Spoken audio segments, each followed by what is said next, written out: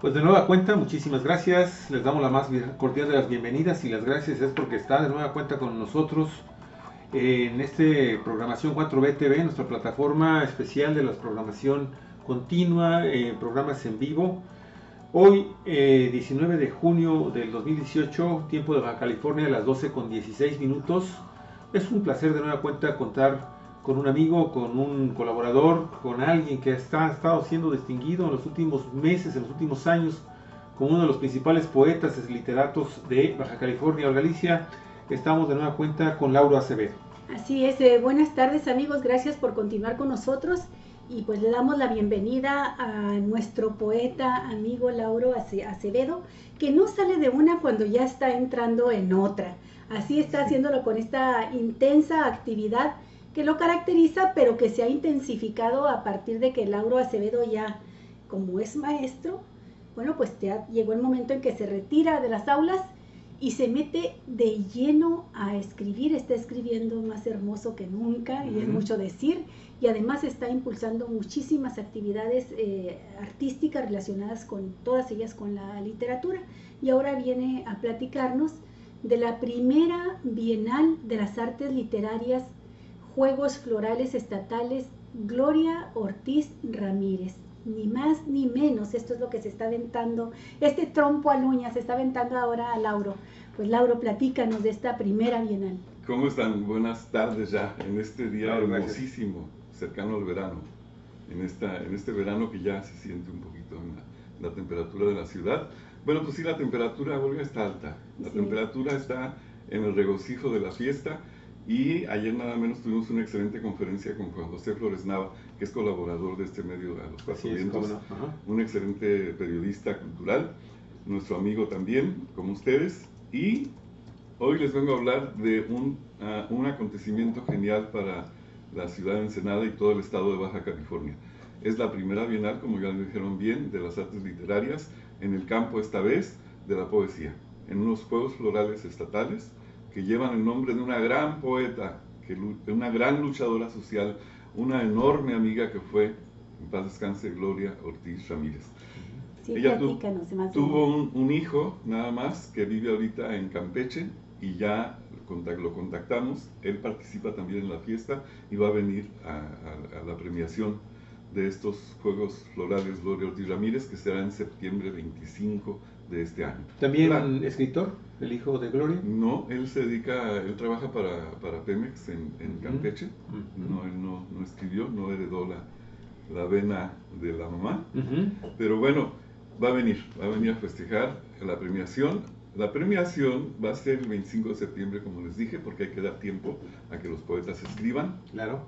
a que desarrollen su obra y nos la envíen.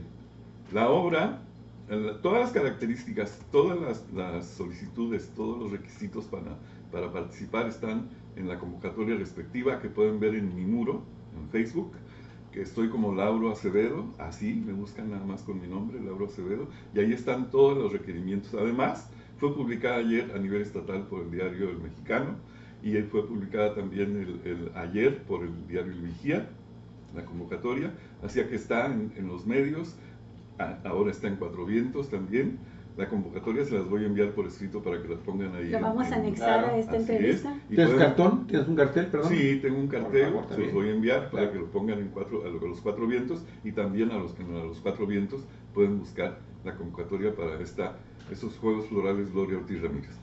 Está abierta ya desde ahorita y hasta qué fecha pueden entregar su material. Así es. Bueno, es un dato muy importante. Se abrió el primero de junio pasado y, se cierra el 25 de agosto a las 24 horas. Y ya el certamen, propiamente ya la calificación. La calificación será a partir del 15 de agosto con unos excelentes jurados que tengo que no son de aquí, no son del Estado, porque quiero que el punto de vista de, estas, de esta calificación sea externo para que no caigamos en ninguna cosa que, que opaque esta gran fiesta en el sospechosismo, como bien dices. Claro, claro, así es. Muy bien, platícanos un poquito más de por qué decidiste ponerle el nombre de Gloria Ortiz eh, Ramírez a esta primera bienal.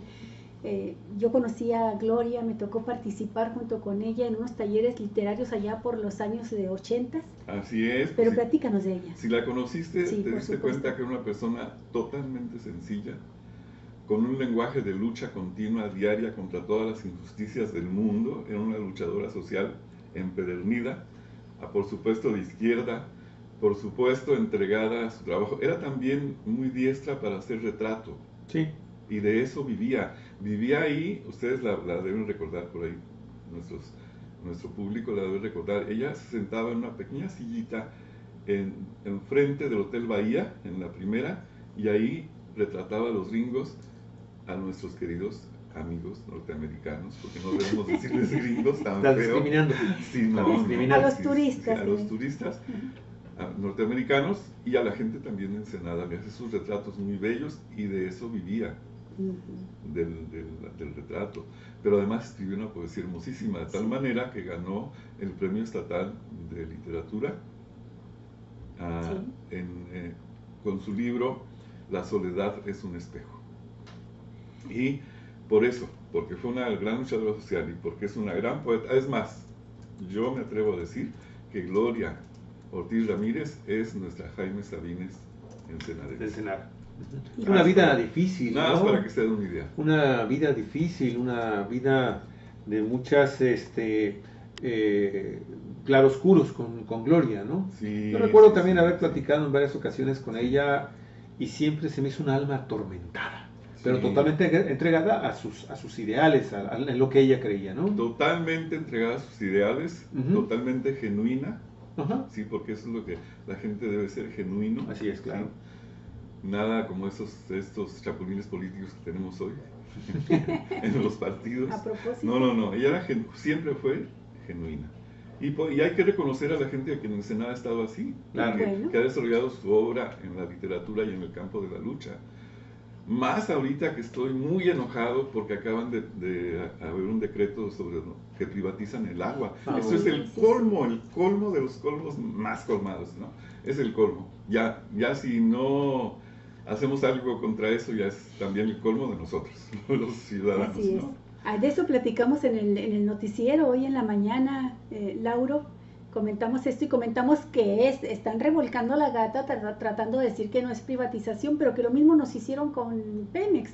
No es necesaria que privaticen la institución, la dependencia, ¿no?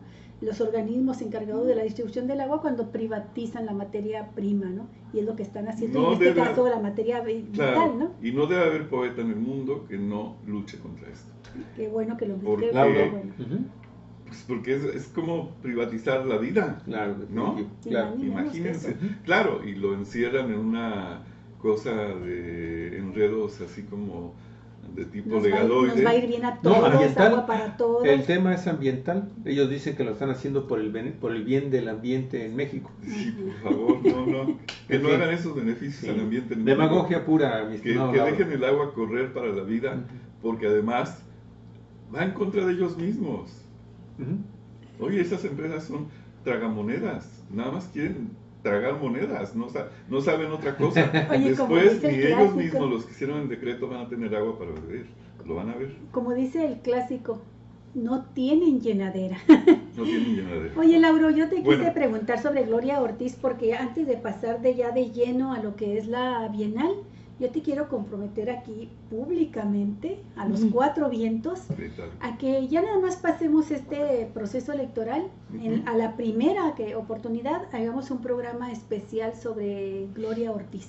Y, y, te trae su libro La soledad es un espejo y platicamos de su obra y leemos algunos de sus poemas. ¿Qué te parece? Encantado de la vida. Tú vas a leer porque Gloria Ortiz debe tener una voz de mujer y tú, tú también te apasionas cuando lees la, poesía. Laura, regresando a la Bienal. Queda el compromiso. Sí, regresando a la Bienal. Sí, te permíteme hacerte la pregunta. ¿Cuántos, cuántos eh, poetas existen en Baja California? Eh, ¿Qué medios estás utilizando para hacerle llegar a la mayor cantidad de poetas? Y son temas abiertos, porque esto, por ejemplo, del agua podría ser un tema, ¿no? Esto de la privatización del agua, pero no sé, no, sé si están buscando algo relacionado con problemática social. ¿De qué pueden escribir los poetas? Yo sé que es abierto, pero... Yo les recomiendo que no de la privatización, porque la poesía es libre en el pensamiento y debe serlo así. pero sí sobre el agua. El, el tema puede ser el agua.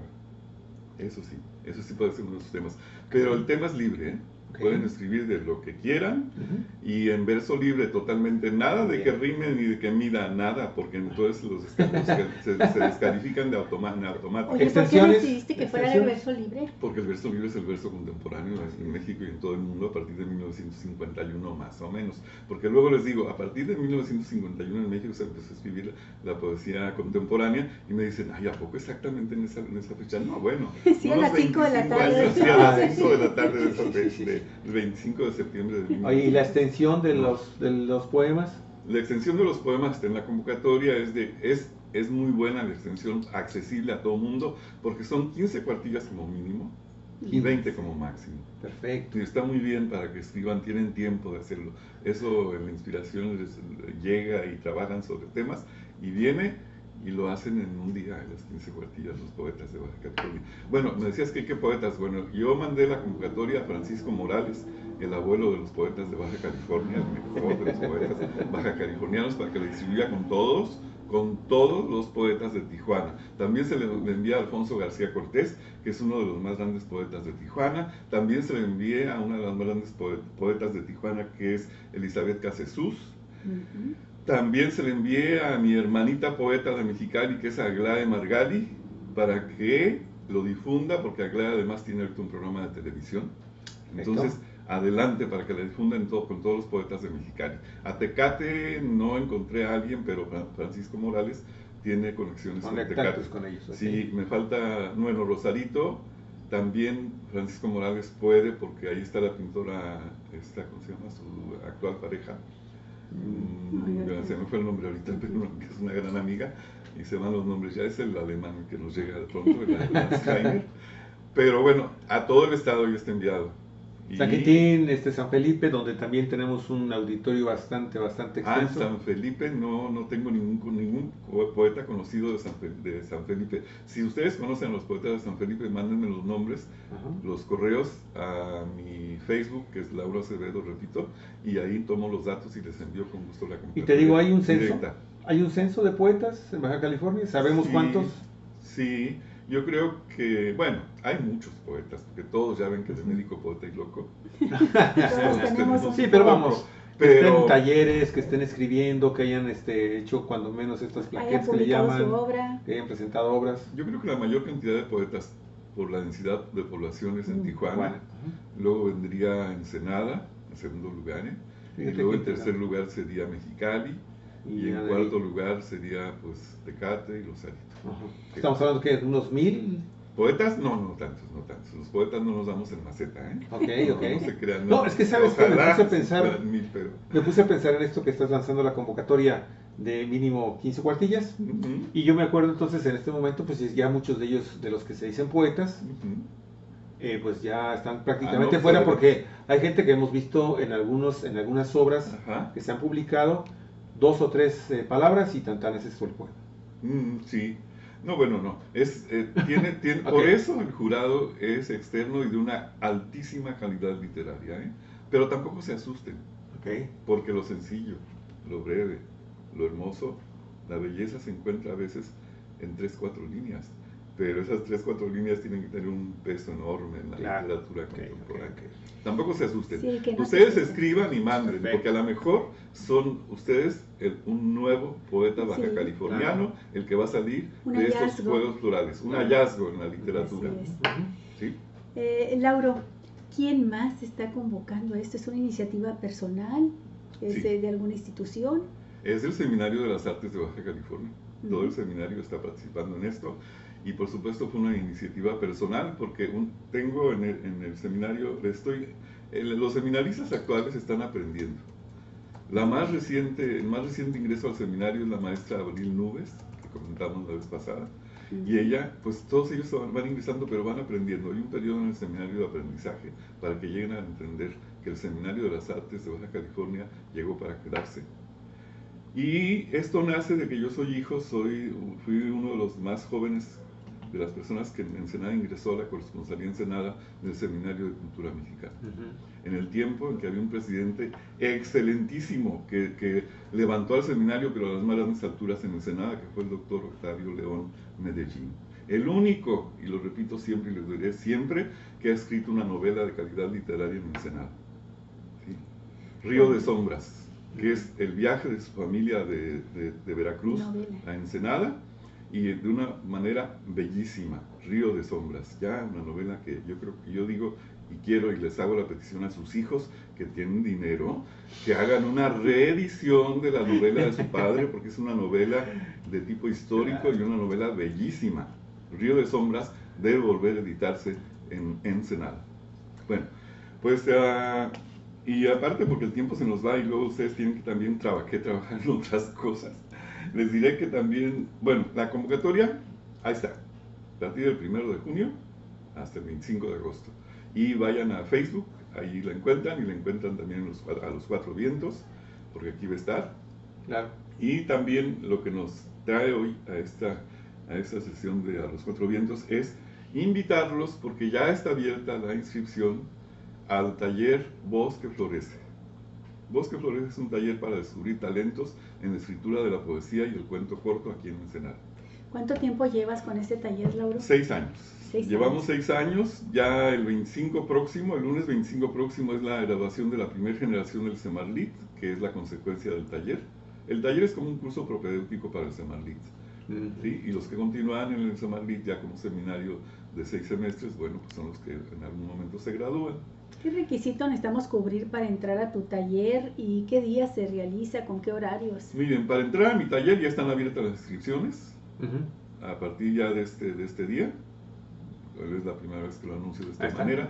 Está abierta las inscripciones para el taller, iniciamos en agosto 20 y ah, hay un cupo mínimo para que se apuren a inscribirse. Se pueden inscribir ah, también en mi Facebook, en Lauro Acevedo ahí, pueden inscribirse y pueden ver la convocatoria a la inscripción en la puerta de la Biblioteca Pública Benito Juárez, en la zona centro, en Ensenada.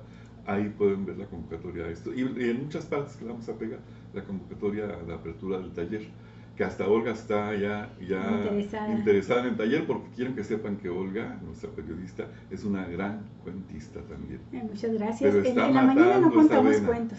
En la mañana somos cuenteros, pero, pero serios con la noticia. No, no, no, ella está, tiene libros y todo, está, es una gran cuentista. Entonces está queriendo ingresar a nuestro taller, pues ojalá sí lo haga, ser un tiempo para ella y la veamos esta vez en el taller. El taller va a funcionar los lunes todos los lunes, nada más son dos horas por semana, no se crean que es agotador. Bueno, la tarea a veces sí, pero dos horas por semana, los lunes de 6 a 8 en la Biblioteca Pública Benito Juárez. Ahí, ahí pueden llegar a inscribirse también. ¿Edades?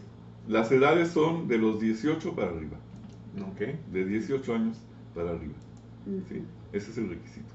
Entrar de los 18 para arriba al taller Voz que Florece de poesía y cuento corto. ¿No importa el nivel que tengas?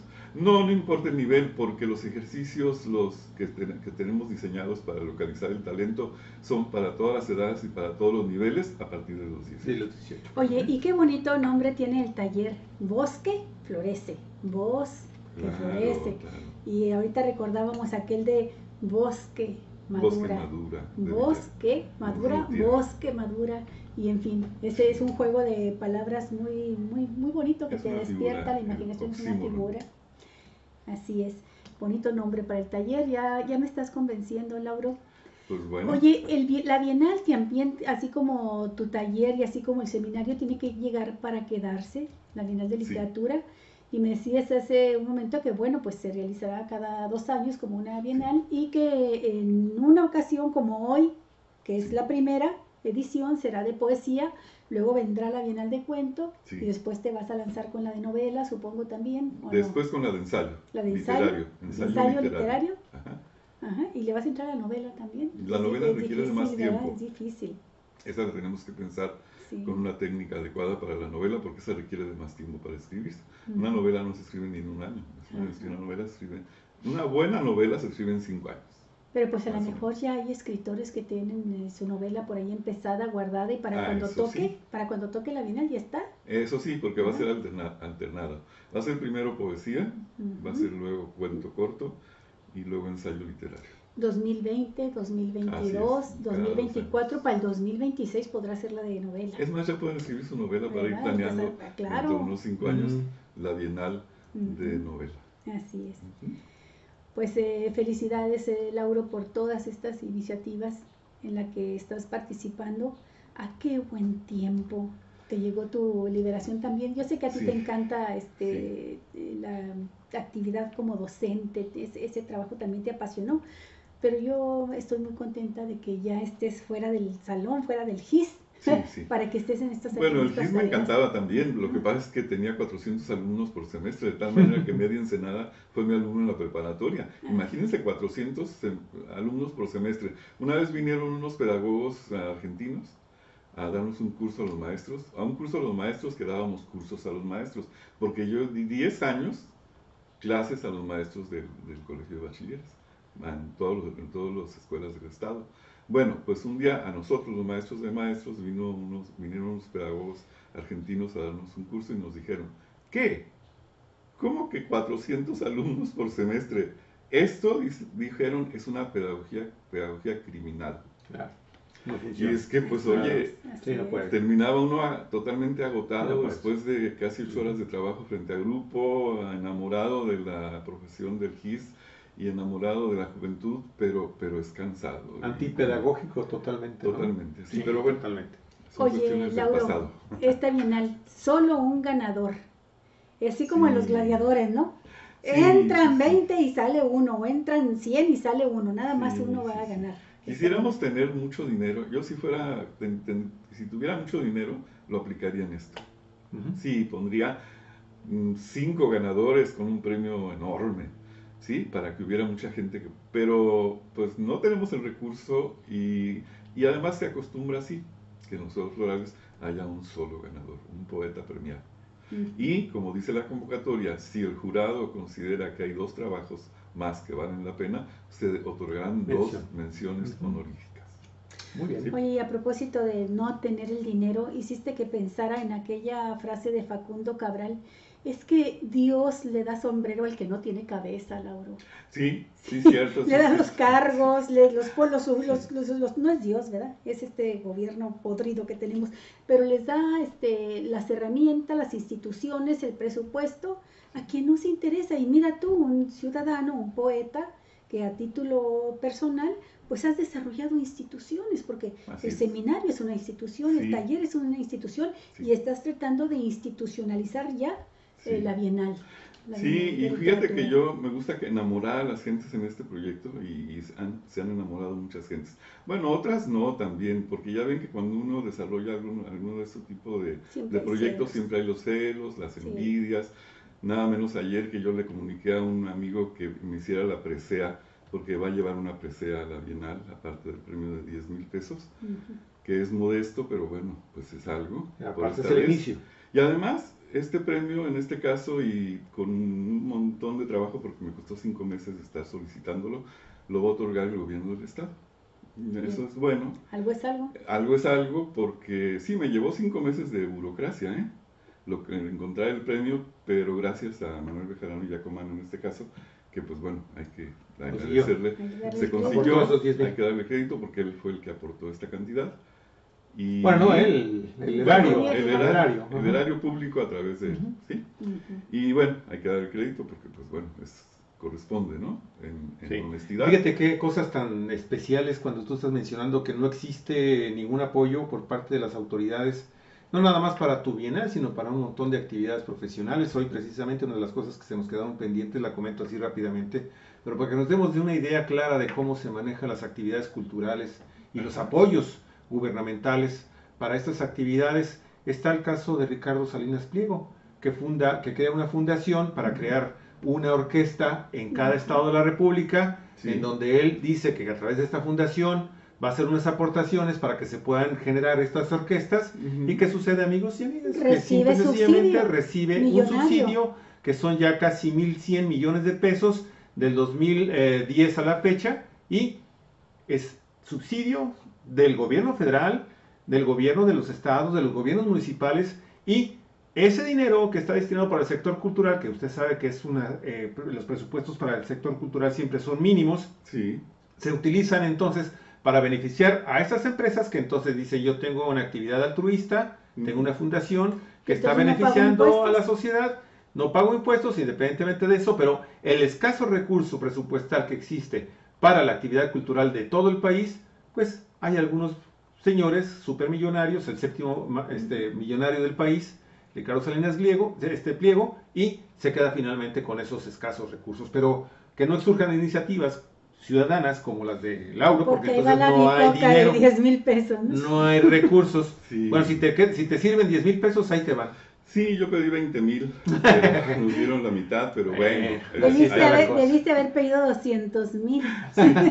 voy a aprender a hacer ese tipo de, Así es. de transa- transacciones. Oye, nada más que el dicho este de que Dios le da sombrero al que no tiene cabeza, pues había que agregar que hay muchos como Ricardo este, Salinas Pliego que hace caravanas con sombrero ajeno y de paso todavía pasa el sombrero ahí por el erario y se queda con una lana, ¿no? Ándale, eso Sí, es terrible. Eso, eso es. Ay, es en todo el mundo, pero, pero es terrible que pase eso de que se quedan con una lana. ¿Por qué demonios pasa eso? No sé, la ambición humana. Es, es algo humano, no, no nada más inherente a los mexicanos, ¿eh? es en todo el mundo. Total. Hasta- en algunos casos hasta de manera mejores más familias. burda. En algunos casos de manera más burda en algunos casos de manera más grotesca y más burda, eso sí, Muy estamos de acuerdo. Oye, Lauro, resumen, resumen de, de el la resumen actividad. de las actividades es Sí. eso, la invitación a la Bienal, Que en Facebook, con mi nombre y en las- a los cuatro vientos, pueden verla, la, la convocatoria para la Bienal, de este caso de, de poesía. vamos a dar amplia difusión todo Y estos la inscripción al taller, inscríbanse rápido porque nada más recibo 15 personas, ¿eh? Nada más es taller. 15 máximo. Eso Así que envíen sus, sus solicitudes. Vayan, inscríbanse a la Biblioteca Pública Benito Juárez. Ahí vayan, ahí va una lista de inscripción y pongan su nombre, su teléfono, su correo electrónico. Ya nomás quedan importante. 19 lugares, ¿eh? Ya nomás quedan 19. ¿Cómo que ya me- 19? porque ya me- porque ya me No, anoté no, no. Son 15. Ah, 15, ya nomás quedan 14, 14, 14 lugares. lugares nada más quedan porque ya se va a anotar Ya me Olga. yo. Entonces quedan, no, ya hay otra persona anotada, ¿eh? Quedan 13. Hoy por la mañana se anotó una persona que va a asistir al taller, quedan 13 lugares nada más hasta ahorita. Así que inscríbanse rápido. Y, ah, pero les quería seguir comentando, este es un programa de chismorreo, seguir comentando el chisme de que ayer mismo me llevé esa cosa que de pronto uno no espera, que le dije a un compañero artista, tú quiero que te encargues de hacer la presea de la Bienal. Y me dijo, ay, mira, qué distinguido honor. No, no, no, para mí esa no es una distinción no se enamoran de las cosas. Ni, pero yo lo noté como con cierta envidia de lo que estoy haciendo en el seminario. Y dije, mira, uno no espera de los compañeros artistas estas reacciones. Pero tenía que comentárselos porque si no se me quedaba aquí en el cuello. De cómo, cómo un artista te responde a otro artista de esa Es manera. bien ¿no? frecuente en este país. Sí, No, Lauro, no, y pasa ¿qué en todo, pasa? ¿eh? Bien, pasa bien en el periodismo, pasa en la ciencia, Mm. pasa en el arte, pasa en todas partes. En, la En todas partes la calidad no, humana es diferente. Sí, en cada- Nos falta mucho por persona. crecer espiritualmente. Yo pensé que se iba a enamorar y iba así, ay, gracias, qué Adelante, bueno que ¿en me qué das en qué más te puedo apoyar? ¿en qué más te puedo apoyar? No, la reacción fue negativa. Bueno, pues yo no hago más que delegar, buscaré a otra persona que haga la presea y, y todo eso, ¿no? Queda bien.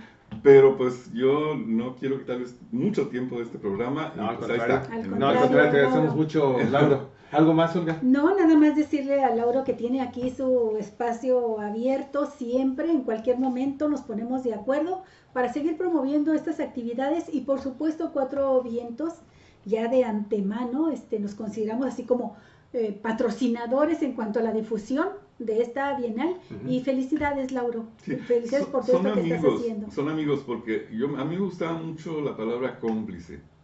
co-. Porque de pronto, ya ven que Benedetti dice que somos cómplices, ¿no? Cómplice y todo. Pero de pronto leí la definición de cómplice y dice que cómplice es una unión entre perversos, entre gente malvada. No, no, no, pues no. Mejor amigos, ¿no? La palabra es amigo. Mejor la dejamos en amigos y no cómplices. Muy bien, bueno, amigos de A los Cuatro Vientos, queremos agradecerle muchísimo el favor de su atención para esta segunda edición en vivo de nuestra plataforma 4B TV. Queremos agradecerle. El día de mañana tenemos otras dos transmisiones en vivo. Hasta el momento tenemos Sí, así ¿verdad? es. Dos. Mañana está confirmado el sociólogo, el doctor Armando Duarte, doctor en sociología, quien va a venir a hablar con nosotros de un tema muy, pero muy interesante, la amnistía. ¿En qué consiste esta propuesta que en un momento dado este, lanzó López eh, Obrador?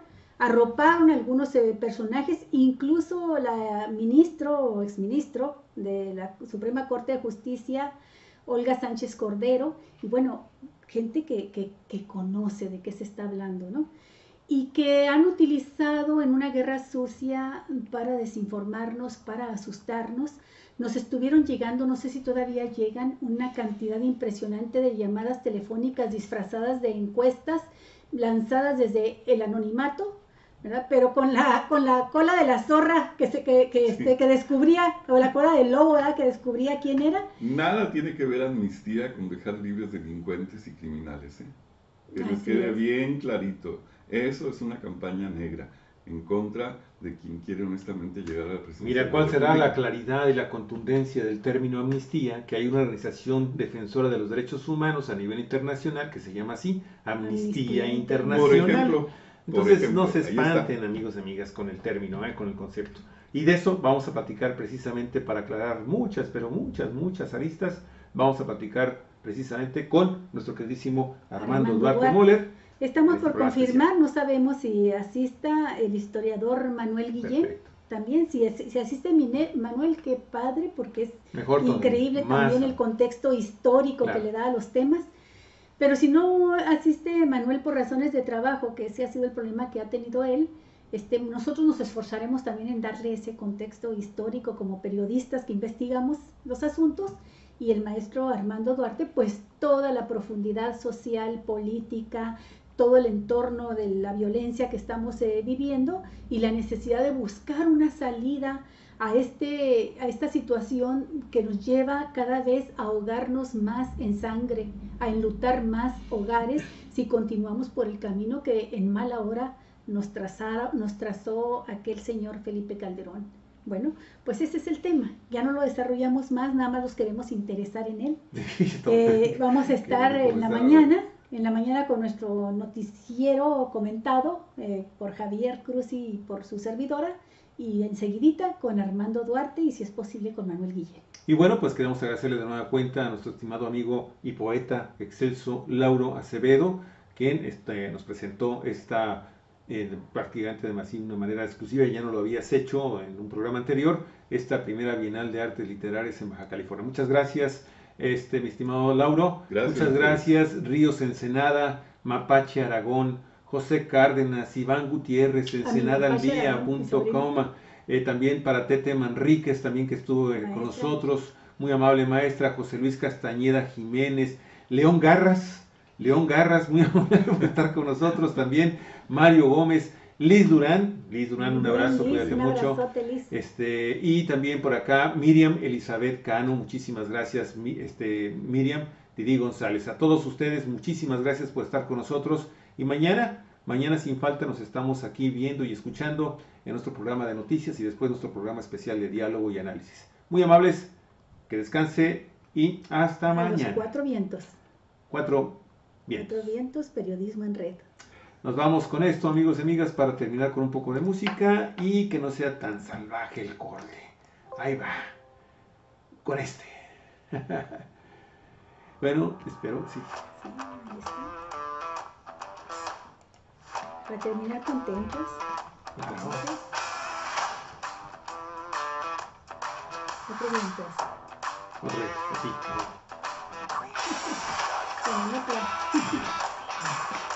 Hasta luego.